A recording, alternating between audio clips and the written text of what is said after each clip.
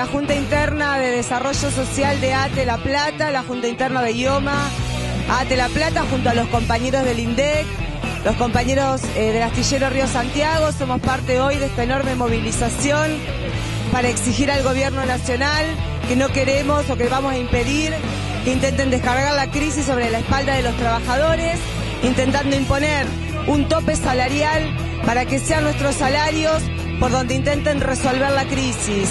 Junto con esto, hoy, en particular en provincia de Buenos Aires, se desarrolló un paro importante y luego nos movilizamos hasta aquí, conociendo ya la última oferta salarial que hizo el gobierno de la provincia, la cual rechazamos porque es completamente insuficiente. El momento que se lleva adelante un brutal ataque por parte del gobierno desde el punto de vista de las medidas económicas, con la devaluación, la inflación, el, aumento de las tarifas. Junto a eso también vemos que, desde los docentes, desde los trabajadores estatales, luchas como los trabajadores de astilleros que venimos llevando adelante por las paritarias, eh, luchas como la de los trabajadores de Crash que después de cuatro días con asambleas lograron un triunfo contundente contra un monopolio imperialista de Kraft, imponiendo todos los reclamos de los trabajadores después de la muerte de un compañero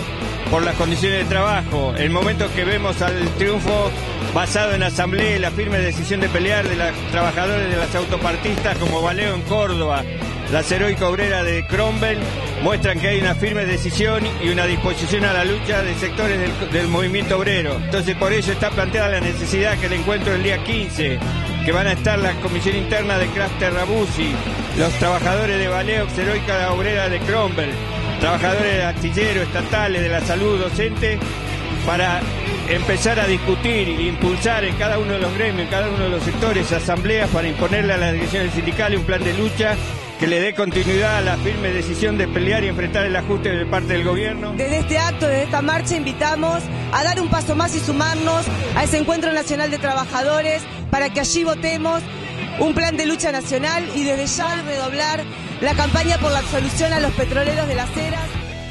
Contra el giro derechista del gobierno y la tregua de la burocracia sindical, venía el encuentro sindical combativo este sábado 15 de marzo a las 12 horas en el Club Atlanta, Humboldt 540, Capital Federal.